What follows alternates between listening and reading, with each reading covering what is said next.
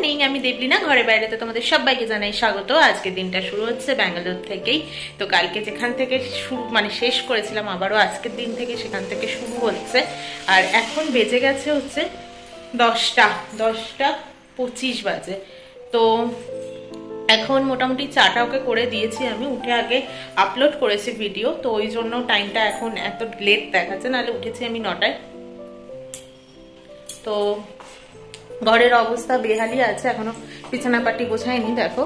বিছানা গোছাবো, ঘরটা ছাদ দেবো, আর এখানে যে মোটামুটি একটু ওই চাদর ফাদরগুলো দিয়ে ঢাকা দিয়ে গেছিলাম, তারপর পরে এসেছে, ওগুলো একটু ধোবো, ধুয়ে ছাদে মেলে দিয়ে তারপর যাব ডিমার্ট। মোটামুটি অনেকগুলো কাজই আছে। তারপর ঠাকুরের সিংহাসনটা আজকে পরিষ্কার করতে হবে আর ফ্রিজটা পরিষ্কার করতে হবে। ফ্রিজটা ও বলল যে আমি পরিষ্কার করব তুমি ঘর ঝাড়াও ঘর মুছো রান্না করতে হবে। ঠাকুরের সিংহাসনটাকে পরিষ্কার করতে হবে অনেক কাজ রয়েছে আজকে। তো জানি না তোমাদের সাথে আজকে কতটা কি গল্প করতে পারব তবে অনেক কথা আছে যেগুলো বলব আজকে। তো চলো শুরু করা যাক সাথে থাকতে কিন্তু প্লিজ কেউ স্কিপ করে কিন্তু বেরিয়ে যাও না। প্লিজ প্লিজ প্লিজ পুরো ভিডিওটার সাথে আবারও যাচ্ছি ডিমার্ট মানে চেনা রাস্তা আবার পুরনো ছন্দ ব্যাপারটা এরকমই। তো চলো যাওয়া যাক, এখন কটা বাজে জানো? এগারোটা ছাপ্পান্ন বাজে। কখন এসে রান্না করব আর কখন খেয়ে দিয়ে শোবো আবারও জানি না, কারণ চোখ আবারও টেনে আসছে। কালকে আমরা ঘুমিয়েছি ভোর পাঁচটা বাজে। এসে কিন্তু কোনো কাজ করিনি, কিন্তু ওই আর কি অ্যাপিদিদের সাথে অনেকদিন বাদে দেখা হয়েছে তো, বসে গল্প করতে করতে করতে করতে অনেক রাতে গেছে। আর ভাইয়ার কালকে একটা দরকার ছিল বলে ভাইয়ার রাতে ছিল না তখন। মানে আমরা যখন এসছিলাম, তো পরে এসছে। ওই জন্যে একটু বসে বসে গল্প করতে করতে আরও বেশি লেট হয়ে গেছে, এই আর কি। তো চলো যা যাক এসে রান্নাটা করব তারপর খাব রান্না বলতে শুধু ইলিশ মাছটা করব আর ভাত ব্যাস। জামা কাপড় কাচা হয়ে গেছে।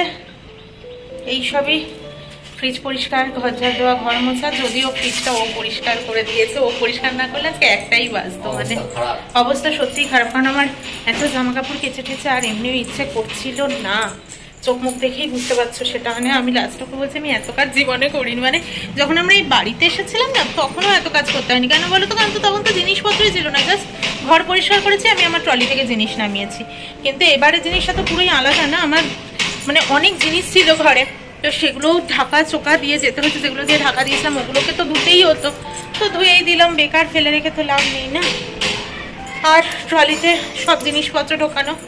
কুর্তি হয়তো এখানে আছে লেগিংস হয়তো ট্রলিতে আছে বা কোনো লেগিংস পেয়েও দিয়েছে, এরকমও হয়েছে। তো এই জন্য এটাই পড়তে হয়েছে। এখনও নামছে না।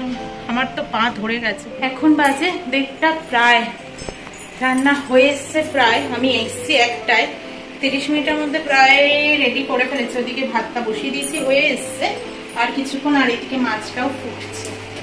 তো এখানে মাছটা হোক, তারপর খাব দাবো ভীষণই কাঁদেও লাগছে। একদম ওই দেখো আমার এটা এসছে একটা ফ্লিপকার্টের যে এটা এসছে ট্রাইপড আর নিচেরটা রাইস কুকার কম্বলটা ঘরে ঢুকিয়ে দিয়েছি। আর এগুলো আবার রাতে গোছাবো, কোথায় রেখেছি জানে, এই তো। এই যে মাসকাবাড়ির সব বাজারগুলো রাতে গোছাবো, কাজে বসলে আপাতত এখন একটু খেয়ে দে রেস্ট নেব। তো চলো তোমাদের সাথে আবার আশা করি বিকেলবেলা বা সন্ধ্যাবেলায় দেখা হবে, আর এনার্জি নেই। একটু বেরোতেই হচ্ছে, আর সেটা আমি একাই বেরোচ্ছি। যদিও আমাকে নানাই করছিল, ও বলছিল কালকে সকালে গিয়ে আমি নিয়ে আসব। কিন্তু কালকে সকালে যদি ও যায়, তাহলে রাতে কি খাব? ডিমার্ট থেকে তো আটা ফাটা এনেছি, কিন্তু সবজি তো কিছুই ঘরে নেই। এমনকি আলুটা পর্যন্ত নেই। ডিমার্টে তো আর সবজি পাওয়া যায় না। তো এখন তাই যাচ্ছি নিচে। বাজারের দিকে, বামানালি সিগনালের দিকে যাওয়ার কোনো ইচ্ছে নেই। তো ডিমার্টের এদিকটাতে ভ্যান নিয়ে অনেক কাকারা বসে আর কি। ওই পেঁয়াজ, আদা, আলু এসবই একটু একটু নিয়ে আসব। ও বলছে যে, তুমি একটু একটু নিয়ে আসো। ফোনটাও আমি আনতে চাইছিলাম না, কারণ ফোন নিয়ে বাজার করতে না খুবই অসুবিধে। তো তারপরে আমি বললাম যে, ঠিক আছে, তাহলে ব্যাগটা নিই সাথে দেখতেই পাচ্ছি এই জন্য ব্যাগটা। তো ওই জন্য ব্যাগটা নিলাম। যে, ফোনটা তাহলে ঢুকানো যাব। ফোন ছাড়া বেরোতে দেবো না। বলছে, এমনি এতদিন বাদে যাচ্ছ। এদিকে ও যখন অফিসে, তো আমিই করতাম পুরোটা, কিন্তু ওই আর কি, অনেকদিন আবার করি না বলে একটু ভয়ও পাচ্ছে। তো চলো, যাওয়া যাক। বলতে পারো অনেকক্ষণ বাদে। এখন বাজে হচ্ছে আটটা পনেরো বেজে গেছে এখন। আমি বাজার থেকে এসছি। বাজার করতে যাব বলেছিলাম, তোমাদের সাথে কিছুই শেয়ার করতে পারিনি, কারণ আমি খুব তাড়াতাড়ি হেঁটে গেছি। বাজার করেছি, চলে এসেছি, কারণ আমি জানি বাড়িতে এখন প্রচুর কাজ রয়েছে। সত্যি কথা বলতে গেলে, এখন যদি আমি দু, তিন দিন ব্লগিংটাকে বন্ধ রেখে কাজগুলো করতাম, তাহলে আমার আরও বেশি কাজ এগিয়েও যেত আর তাড়াতাড়িও হতো। কিন্তু সবটাকে নিয়ে করতে গিয়ে আমি আরও ঘেটে ঘ হয়ে যাচ্ছি। পুরো ঘেটে ঘ বলতে তাও আজকে অনেকটা হয়েছে। এই বাজার থেকে এসে আমি যেগুলো কিনে এনেছিলাম, কিনে এনেছি বলতে বেশি কিছু না। শুধুমাত্র যাতে ওকে কালকে বামেনালি সিগনালে বাজার করতে যেতে না হয়, তাই জন্য গেলাম। জাস্ট এক দুদিন চালিয়ে নেওয়ার জন্য আর কি। আলু, পেঁয়াজ, আদা ঢেঁড়স টমেটো এসবই এনেছি। তোমাদের সাথে দেখাইও নি সেগুলো। আর সকালে ডিমার্ট থেকে যেগুলো বাজার করে এনেছি, ব্যাগ সমেত ওই ধারেই এখনও কোনাতেই রাখা, বিশ্বাস করো, ভেবেছিলাম সন্ধেবেলা একটু গোছাবো, কিন্তু সেটাও আর হয়নি। আমি এসে দেখেছিলাম যে পুরো পরিষ্কার। ওপর থেকে তো পরিষ্কারই দেখে মনে হয়েছিল তোমাদের সাথেও কালকে রাতেই ঢুকে আমি শেয়ার করেছিলাম। কিন্তু খাটের তলায় যা নোংরা ছিল, পুরো মানে ধুলো এত এত ধুলো বেরিয়েছে। আর সন্ধেবেলা যখন ও চাটা একটু করে সন্ধ্যেবেলা ও যখন পেছন দিকটা নাড়া দিয়েছে মানে ওই দেখবে আমার জলের ড্রামের পেছনে একটা বড় ড্রাম মতো ছিল, যেহেতু আমার কাছে সব কৌটো কৌটো আলাদা নেই এখনও অব্দি তো ওই জন্য না আমি কিছুটা ইউজ করি, তারপর গার্ডার পেঁচে বড় ড্রামের মতো কৌটোটাতে রাখি আর কি। এবার ওটার মধ্যে আমার ভুল করে ছোলা থেকে গেছিল একটুখানি। তো এবার ওই ছোলাটাকে পোকা ধরে গেছিল। এবার ওই পোকা থেকে ওখানটা পুরো মানে পেছনটাতে বাসা করে ফেলেছিল আর কৌটোর ভেতরটা। তো তো ওগুলোকে তো ও কালার হিট দিয়ে প্রথমে মেরে এসেছে। মেরে আসার পর বলল, তুমি পরে যাও, কারণ কালার হিটটা এত দিয়েছে না, উগ্র গন্ধ হয়ে গেছিল ওখানটাতে। তো আমি ভাবলাম, ঠিক আছে, তাহলে বাজারটা করে আসি। তারপরে আমি বাজারগুলো গোছালাম। জামা কাপড় কেচেছিলাম প্রচুর আজকে। তো ওইগুলোকে আজকে গোছালাম, গুছিয়ে আলমারিতে ঢুকিয়ে দিয়ে তারপর গেলাম, পোকাগুলোকে পরিষ্কার করতে। ওকে চা করে দিলাম আরেকবার। তো তারপর পোকা ঠোকা পরিষ্কার ওই পরিষ্কার করতে গিয়েই তো আমার এক ঘণ্টা লেগে গেল। তারপরে এই এসে বসলাম তোমাদের কাছে। আর ট্রলি তো ছোটটা ফাঁকা করেইছি কালকে। দুটো ট্রলিতে এখনও অব্দি হাত দিইনি আমি। আপাতত সামনাসামনি যা আছে, পুরো আলমারিটাকে আগে আমি নামিয়ে পুরো আবার ভালো করে গোছাবো। গুছিয়ে নিয়ে তারপর ট্রলিটা খুললে আমার সুবিধা হবে। কারণ ট্রলিতে আমি সুন্দর করে ভাজ করে এনেছি। ট্রলি খুলবো, ভাজ খুল, ভাজ ধরেই ভেতরে তাহলে আমি রেখে দিতে পারব। তো ওই জন্য। আর সেই কাজটা আমি কালকেই করব। কারণটা হচ্ছে আমি যদি তাড়াহুড়োর মধ্যে করে ফেলতে পারি, তাহলে কাজটা আমার হয়ে যাবে। আর যদি আমি তাড়াহুড়োর মধ্যে না করি, ওই যদি ডিমে তাল দেই, পুজো পার হয়ে যাবে, আমার ট্রলি খোলা আর হবে না। তো আর তাড়াহুড়ো করলে বেশ হয়ে যাবে কাজটা, কারণ ওর বন্ধু আর বন্ধুর বউ বলতে মানে এঙ্গেজমেন্ট ওদের ন তারিখ, তো সাত তারিখ ওরা আবার কলকাতা যাচ্ছে, তো ওই জন্য ওরা আসবে আমার বাড়িতে। ছ তারিখ ওদের কিছু জিনিসপত্র রাখতে আসবে আর কি। বোঝোই যেখানে আমাদের আত্মীয় স্বজন কেউ নেই, তো বন্ধু বান্ধবদেরই এরকম ভাবে হেল্প করতে হয়। যখন আমি গেছিলাম, আমাকে অনেকে হেল্প করেছে। এইরকম ভাবে চলতেই থাকে। আমি যখন কালকে এসেছি, অত রাতেও বিশাল দা, সঞ্চিতা দি, ঘুমিয়েও হয়তো পড়েছিল। অ্যাপিদি কালকে সবাই মিলে নিচে গিয়ে কাউকে ডাকতে হয়নি ওরকম ভাবে। তো এই আর কি, যেখানে কারোর ফ্যামিলি নেই, সেখানে এরকম ভাবেই আমরা একে অপরের সাথে রয়েছি। এরকমই দেখতে হবে না, কারণ তারাও যদি কখনো বিপদে পড়ে আমাদেরকে এগিয়ে যেতে হবে, এরকম ভাবে এখানে থাকতে হবে। তো এভাবেই চলছে আর কি।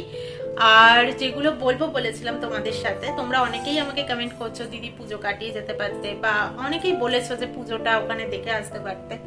প্রথম কথা হচ্ছে অফিসের এইসব সেন্টিমেন্ট কাজ করে না। অফিসে কখনোই যে আমার কলকাতার পুজো ছেড়ে আমি যাব না বা কিছু। এই ধরনের অফিস কথা শুনবে না। আর হ্যাঁ তোমরা বলতেই পারো যে ওয়ার্ক ফ্রম হোম চলছে, এত দিনটা কাটিয়ে এলে। সবচেয়ে বড় কথা হচ্ছে প্রথমও যে সিস্টেমটা নিয়ে গেছিল, শুধুমাত্র ল্যাপটপটা ছিল সাথে অফিসের, কিন্তু সিস্টেমটাও নিজের ছিল। সেটা ফ্লাইটেই বলো কি কিছুতে, যাওয়ার টাইমে কোথাও হয়তো মানে ট্রলি ওরা যেভাবে পেলে তো সিস্টেমটা চির খেয়ে গেছিল। গিয়ে ও নিজের সিস্টেমে কাজ করতে পারেনি। যে টিভিটা ছিল যে টিভিটা ছিল সেই টিভিটাতে ও কাজ করতো। তো এইবার ওই টিভিটাও গেল খারাপ হয়ে। কি না মাঝে আমফানের টাইমে বাজ পড়েছিল পাপা বলল তখনই নাকি একটু নড়বড়ে হয়েছিল তো তারপরে একদমই গেছে।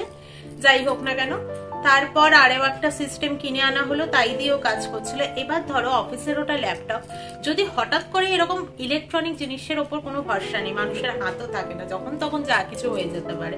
তো ওই জন্যই বলতে পারো আরও তাড়াহুড়ো করে চলে আসা। যে যদি কিছু হয়, আমার তো সিস্টেম মানে ওর অফিস ব্যাঙ্গালোর তো ব্যাঙ্গালোরেই সিস্টেম দিয়েছে ডেলিভারি তো সিস্টেম যদি নিতে আসতে হয়, ওর কিছু হয়, ও যদি অফিসে কল করে জানায় যে আমার সিস্টেমে এরকম হয়েছে, তাহলে ওরা অফিস থেকে মানে ব্যাঙ্গালোরেই তো নিতে আসবে না সিস্টেম তখন তো আর কলকাতায় লোক পাঠাবে না। তো ওই জন্যই আরও চলে আসা। আর সূর্যকে দেখতে গেছিলাম বলেইছিলাম মানে বাচ্চারা যে ভালোবাসে কতটা, তাদের যে কথাগুলো বোঝাতে পারে না, ওদের কতটা কষ্ট হয় সেটা আমি সেদিনকে বলেছিলাম। আর সূর্যকে দেখে আমি সেই দিনকে বুঝেছিলাম, যখন সূর্যকে দেখতে গেছিলাম, ও মামুনিকে মানে ওর আন্টিকে আদর করছে দাদা ভাইকে আদর করছে, আমার কোলে বসেছিল এটা ঠিক কথাই, কিন্তু লাস্টে যখন তাপসী আন্টি মানে ও সূর্যর মা যখন আমাদেরকে বলছিল, খেয়ে যাও খেয়ে যাও, আমরা খেতে রাজি নই। ওর আর কি মনে হচ্ছে কেন খাচ্ছে না। তো সেদিন যেহেতু চলে আসব সেদিন তো কোথাও খাওয়াটা ওরকম ভাবে সম্ভব না। তো খাইনি ওইখানে। তো চলে আসব। আমি সূর্যকে বারবার বলছি, সূর্য একটু আদর কর, সূর্য একটু আদর কর। আমি ওকে জড়িয়ে ধরে আদর করছি, কিন্তু ও মুখটাকে এরকম ঘুরিয়ে রেখে দিয়েছে।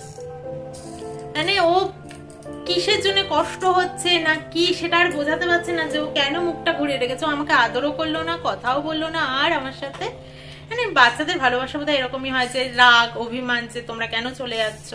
এই আর কি, আর বাড়ি ছেড়ে আসতে তো সবারই খারাপ লাগে, বিশেষ করে পুজো, পুজোর প্যান্ডেল হচ্ছে দেখেও চলে আসতে হয়েছে।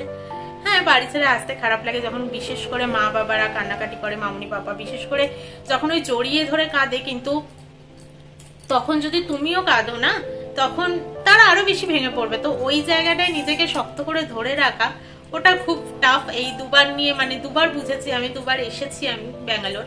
তো এই জায়গাটা সত্যি ধরে রাখাটা খুব চাপের হয়। তাদেরও খারাপ লাগবে, অবশ্যই আরও দু মাস আমরা থেকে এসেছি, ঘর ফাঁকা ফাঁকা লাগবে। আমাদেরও খারাপ লাগবে, তাদেরও খারাপ লাগবে, তাদের হয়তো যেহেতু আমরা কান্নাকাটি করিনি, হয়তো সবারই মনে হতে পারে যে মানে তাদের মনে হতে পারে যে ওরা বোধহয় ভালো আছে, ওদের বোধহয় কষ্ট হচ্ছে না, কিন্তু কষ্ট তো সবারই হয় না। কিন্তু সেখানে যদি মা বাবারাও কাঁদছে আমরাও যদি কাঁদি, সেই জায়গায় তারা আরও বেশি বেশি ভেঙে পড়বে। তো ওই জায়গাটা একটু কষ্ট হয়, কিন্তু ধরে রাখতে হয়। তো এগুলোই ছিল তোমাদের সাথে শেয়ার করা। আর তো চলো, আজকে আর কি দেখাবো? রাতে রুটি আজকে করব বলে মনে হচ্ছে না, দোসাই হয়তো করব। ও আবার কি নারকেল গুঁড়ো না কি নিয়ে এসছে, ডিমার থেকে ওটা দিয়ে হবে কোকোনাট চাটনি। তো অনেক কথা তোমাদের সাথে শেয়ার করলাম। অনেক কাজও করে ফেলেছি আজকে। তোমাদের সাথে হয়তো শেয়ার করতে পারিনি কাজগুলো, আজকে সম্ভবও ছিল না। যদি ট্রাইপড এদিক ওদিক করে সেট করে আমি কাজ করতে যেতাম, তাহলে আরও বেশি লেট হতো। আশা করি দু তিন দিনের মধ্যে সব কাজ শেষ হয়ে যাবে। তারপর এক সপ্তাহের মধ্যে আমি আবারও পুরো ফুল ফর্মে ফিরতে পারব আর কি।